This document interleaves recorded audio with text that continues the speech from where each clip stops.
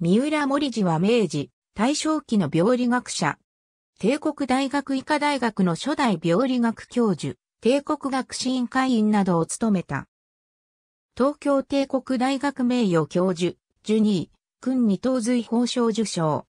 岩木国田村郡後木沢村に、三春藩士、村田七路兵衛の次男として生まれ、幼い時三浦義順の養子となった。明治2年半校の公文堂に入る。寄宿舎の同期に加藤木住教がいる。明治5年東京に出て、岡先人の門に入り、漢学を収めた。明治6年大学東校に入り、明治14年東京大学医学部を主席で卒業し、内科助手となった。同級に、高橋淳太郎、中浜東一郎、森林太郎、小池正直、過去鶴戸がいる。明治15年第5回文部省国費留学生に選ばれ、ドイツのライプツヒ大学に留学、コーンハイムに指示。翌年ベルリン大学に移り、ルドルフ・ルートビヒカール・ウィル表に指示。病理学を専攻し、ドクトロデル・メディチーネの学位を得て、明治20年帰国。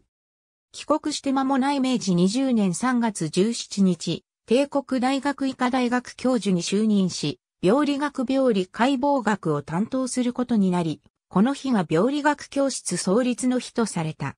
明治24年医学博士となった。明治35年に再び、ヨーロッパ各国で病理学を研究。明治38年陸軍省御用係を兼ね、日露戦争の際に現地で活気を調査。明治39年には帝国学士院会員に任じられた。帰国後医師を開業。当時国民病とされた活気の研究のほか、ジストマ、マラリアなど各分野の研究に貢献した。明治43年退官。大正3年東京帝国大学名誉教授となった。大正5年2月2日、急性腹膜炎により死去。59歳であった。遺体は遺言により病理解剖に付された。墓所は谷中霊園にある。佐々木信綱の門下として和歌に優れ、移りだけの画号を持っていた。